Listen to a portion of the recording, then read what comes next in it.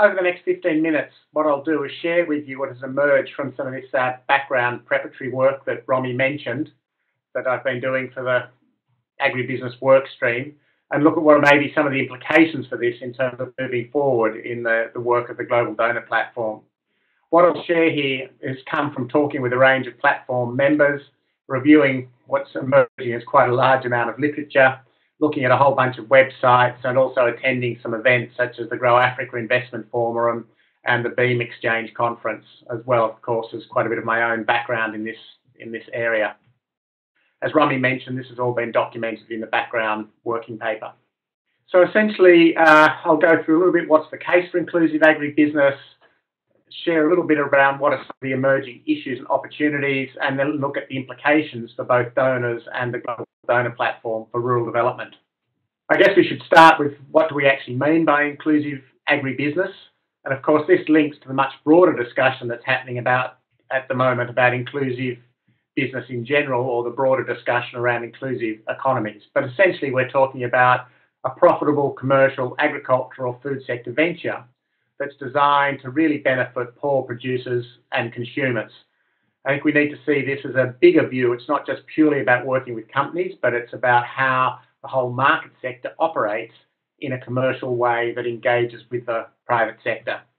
And of course, underneath this is always the attention for a, a triple bottom line of people, planet, and profit. I think what everybody will be aware is there's quite a number of overlapping concepts at the moment, as I've illustrated here. On one hand, we've got the idea of inclusive agribusiness that we're talking about, but you also have agricultural market systems work, the making markets work for the poor approach, and of course, there's a very long history of much happening in the sustainable agricultural value chains. I think what I'm seeing is different people using different language very often to mean the same thing. But there's also perhaps some important differences around these uh, three areas that I've identified here. I think the value chain work has more of a focus on going from one end of the value chain to the other and, and value chain coordination. The inclusive agribusiness has a particular focus on how do you make inclusiveness work for businesses and what's the role of business in these areas and the agricultural market systems has been looking a little bit broader at whole market systems with a very strong focus on making markets work work for the poor. But of course, a lot of overlapping ideas here. And this is all linked quite strongly to other discussions happening in the uh, donor programs around private sector engagement, aid for trade, and also the idea of working at the bottom of the pyramid. In practice, um, what we're talking about is the inclusion of small scale farmers and entrepreneurs on beneficial terms into various sorts of markets and value chains. We're talking about creating supportive business environments for small and medium sized enterprises. We're not only talking about the big end of town in this. I mean, also employment on fair conditions. So I think the whole inclusive agribusiness agenda is not just about small scale farmers, but about employment opportunities along the value chain. It takes you into discussions about how you get viable agri-food clusters or agri-centres on a geographic basis. There's also discussions around how you can provide healthy and affordable accessible food products, so much more the service side of this. And there's important questions about how poorer and more marginalised groups uh, end up with a voice in the governance and investment into the agriculture sector won't spend a huge amount of time on, on the case for this, but I mean, I think we all need to be aware that agriculture really does still matter. We have very high employment rates in agriculture. Uh, rural economies, uh, driving rural economies has a link to balancing urban migration, creating rural wealth. Agriculture can be a very important distributor of wealth. It's very critical around women's economic empowerment, particularly with the feminisation of, of agriculture. And agriculture still plays a really important place in the export income of many countries. Um, and there's also a few extra dollars in the in a how, poorer household's um, pocket can make a very big difference in terms of getting the next generation uh, out of agriculture, if you like, into better economic circumstances. So there's really, really important reasons why, from a broader inclusive business, inclusive economy agenda, one should be looking very closely at the agriculture sector. And I think what we're, we're seeing is that agriculture has enormous potentials to deliver a lot of public goods through engagement with business activity and public-private partnerships.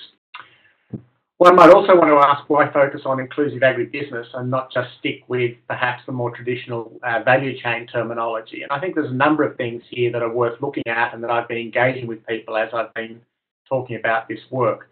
I mean, firstly is the fact that it links to this wider and rapidly growing field of inclusive business and inclusive economies more, more generally. I think it also recognises that a huge amount that's happening in the agriculture sector will be very heavily influenced by what happens in business. So understanding how you work, how you partner with business, how you create the right incentives for business to engage in an inclusive way is a very critical discussion. Uh, hence putting partnering and engaging with business quite quite central.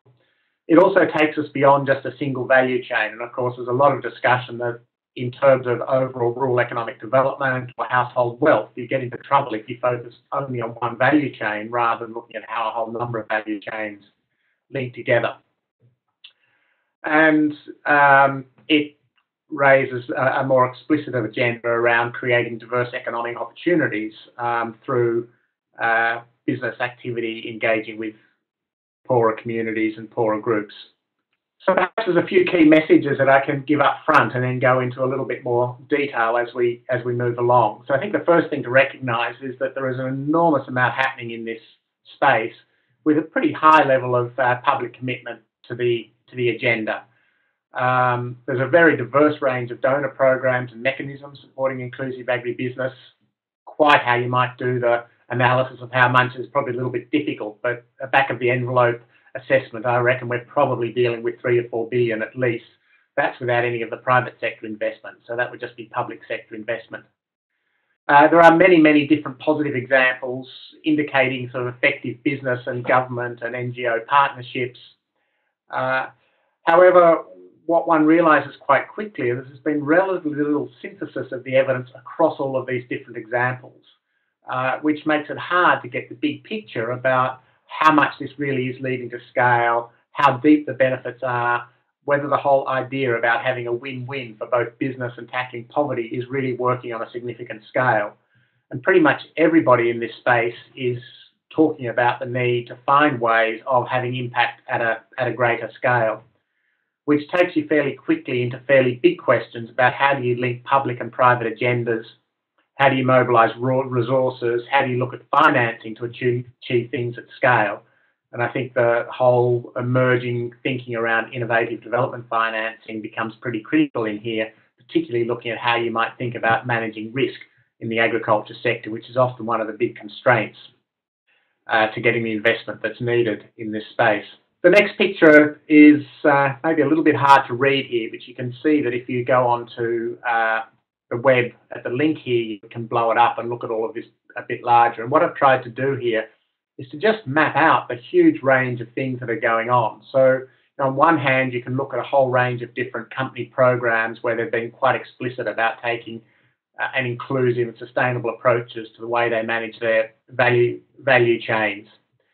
Uh, we're seeing a whole bunch of responsible investment pr principles that are starting to underpin the way this work is is happening there's a series of business platforms that have been established, whether it's the World Economic Forum with its Grow Africa and Grow Asia, whether it's the Sustainable Agriculture Initiative platform, the World Business Council for Sustainable Development, and so on. Um, if you look at the NGO world, there's a huge range of different programs and initiatives with all sorts of ways of engaging with the private sector and engaging in this, this space. Linked to this, you then find a number of practitioner networks that have been set up. Some of these practitioner networks are more focused on the idea of making markets work for the poor and inclusive business in general, while other ones are quite focused specifically on the agriculture sector. And at the moment, there's relatively weak links between all of these networks, although there is a gradual emerging discussion around how there could perhaps be uh, better, better linkages there. Quite a number of uh, foundations are involved in this space and there's a whole lot starting to happen in the in the financing space, whether it's through IFC, um, the new EU AgriFi initiative, uh, groups like um, Root Capital. Uh, quite a lot happening also in inclusive, uh, sorry, the impact investing space. So again, a lot happening around the financing side. And I could go on through uh, all, all, these different areas. where there are sort of linkages, but the big question is there doesn't seem to be necessarily a huge amount of coordination across all of these different initiatives, particularly when you realise that from a donor side, these initiatives are often funded variously from agriculture, uh, the financing side of development, the trade side of uh, development, or the private sector engagement side. I mentioned what you can find if you look on the websites of a range of um, larger global companies, and uh, there's just a few examples here of the, the, sorts of things that you'll you'll see on their their websites. But I think again to emphasise here that if we're talking inclusive agribusiness, it's not simply just about the larger global agribusinesses, although they set an important context. It's also about how do you look at small, medium scale enterprises, regional businesses, national businesses engaging in this space, and that's certainly where some of the challenges arise. Over the last few years, uh, Grow Africa and Grow Asia have got quite ahead of steam, and they've been fairly influential in bringing together leading uh, agriculture ministers, heads of state to their various uh, events and forums in Asia and Africa.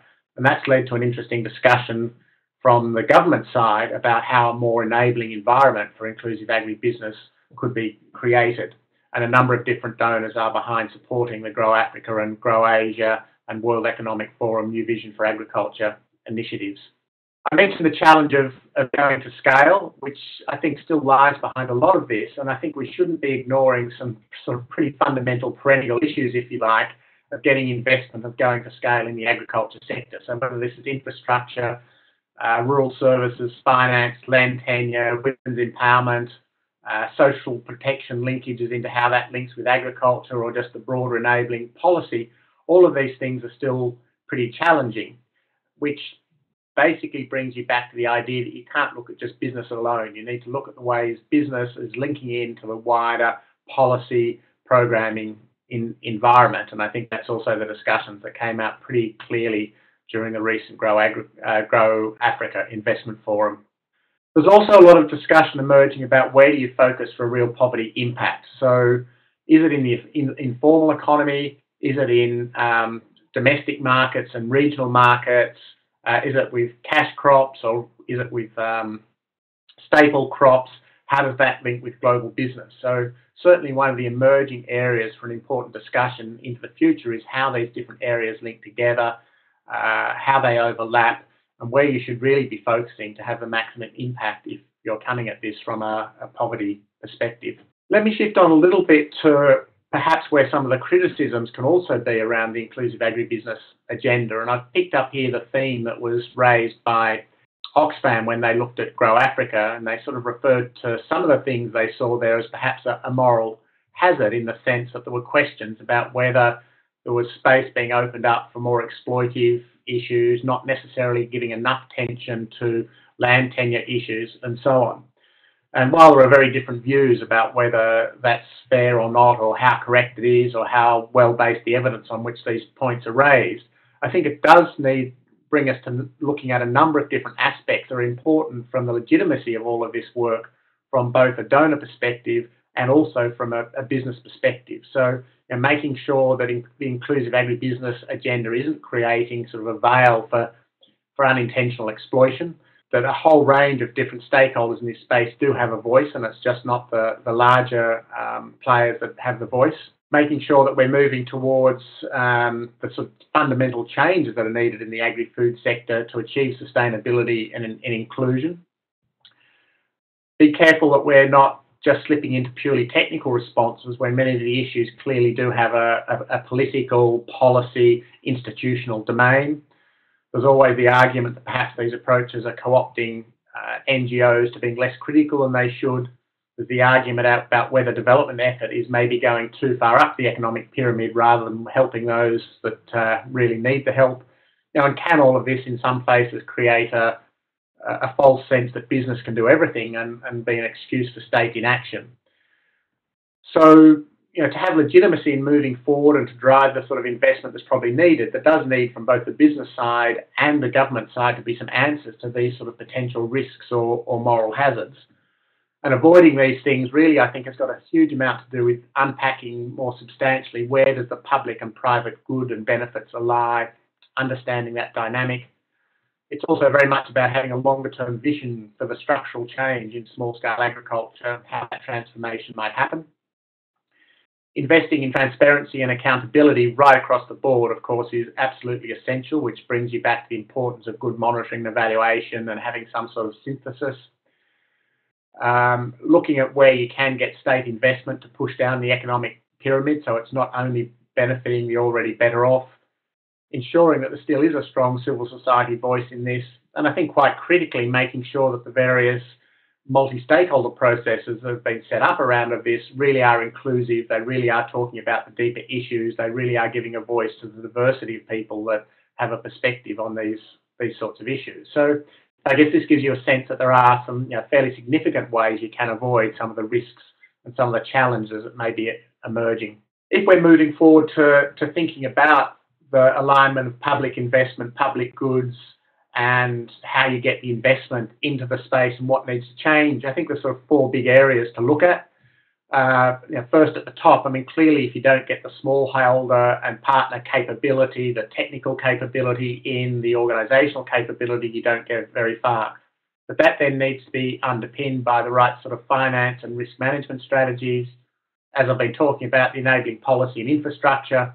And then, of course, looking much more closely at what are the business incentives and, and commitment, because if, if all of this is not commercially viable for business, it just isn't going to happen which brings you back to the link between that and creating the enabling policy, uh, enabling environment. So out of all of that, where do we get to with some emerging issues for donors? Uh, I think the first thing is the need to be able to demonstrate really clear poverty impact by working with markets and private sector. And while we've got a pretty good sense that you know, a lot of good stuff is potentially happening and the logic of it all makes sense, bringing all that evidence together to really be able to demonstrate that more substantially from what I can see, is still fairly uh, thin on the ground, so to speak. For a lot of donors, there's quite some challenges in developing funding mechanisms that enable, if you like, an entrepreneurial programming approach that can actually effectively partner with the private sector. So I think a lot of the donors I talk to, that's always a bit of a challenge and a bit of a dilemma, whether it just comes down to sort of basic contracting uh, procedures. But working through some of those challenges to be able to work more effectively with the private sector is critical there's some really uh, deep questions starting to emerge about given limited resources, what is the most catalytic way to use those limited resources? And you know, that putting it into infrastructure? Is it underwriting risk? Is it working with private sector or working with others? So, um, given the experience we've developed to date, what then would seem to be the most useful or the best ways to uh, to use limited resources in the in the future to be more catalytic? Ensuring responsible private sector partnerships and, and really making sure that when you're working with a part with the private sector in partnership that you've got additionality. In other words, that they're actually doing things they wouldn't have done without that partnership and you can really demonstrate that that very clearly for accountability reasons. And finally, there's, a, there's an awful lot to learn in this space, and I think the collective knowledge and learning network that can drive all of this and drive effectiveness across inclusive business and innovation and needs essentially a big boost to, to underpin the sort of innovation and next stage of development. So some recommendations uh, out of all of this, I think from what I've heard and talked with people, there is certainly a very good case for the global donor platform to proceed with an inclusive agribusiness work stream, uh, but particularly doing that in a way that links across the trade, private sector engagement and market development spaces, but with a particular focus on the challenges for the agri-food sector.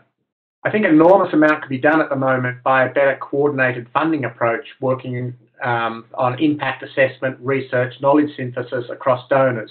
There's not very much cross-program evaluation and there's not very much synthesis of the lessons and the impact assessment to give you this bigger picture about the, the overall changes that, that are happening. I think the platform could really encourage a whole range of knowledge institutions and practitioner networks to work in a closer, more integrated way perhaps in some sort of global learning alliance. And I think all of this could be driven by holding a uh, workshop to essentially develop a stronger knowledge and learning agenda, whether that happens sort of toward the end of this year or early next year. So I think that gives some fairly clear directions for the sorts of things that the global donor platform could be encouraging at, at this point in time, given all of these issues that are emerging and, of course, the, the significant opportunities in this space. Um, here, I won't go through this in detail now, but there are a, a range of different uh, topics and, and areas that could be looked at in terms of a knowledge and learning agenda. In terms of the role of the donor platform, this comes back very much to its new strategic plan and the key focus on brokering knowledge, on supporting an active network within the donor members, um, and being able to host key conferences and teleconferences on some of the key emerging issues. Perhaps to finish off then, I think there's also three topics that could be uh, a strong focus initially in terms of taking the work stream the next step. First one is what I've been spending quite some time talking about, which is developing the evidence and knowledge base. The second one is around innovative finance for inclusive agribusiness. I think there's tremendous interest in this area, some big challenges, and the, the real recognition that somehow more finance needs to be brought into the sector makes this uh, a high priority topic. And finally, I think the enabling policy environment, and this takes us back to the critical role of working with national governments around these issues to better understand what can be done at the national level to get better dialogue between the business community and the policy environment in country um, and to take forward perhaps some new ways of thinking about what that uh, supportive environment would, would look like. And certainly this was an issue that was raised a lot in both the Grow Africa and Grow Asia forums that have been held over the last 12 months. So I think that brings me to the to the end of that, um, and you know, more detail on all of this, of course, can be found in the background document.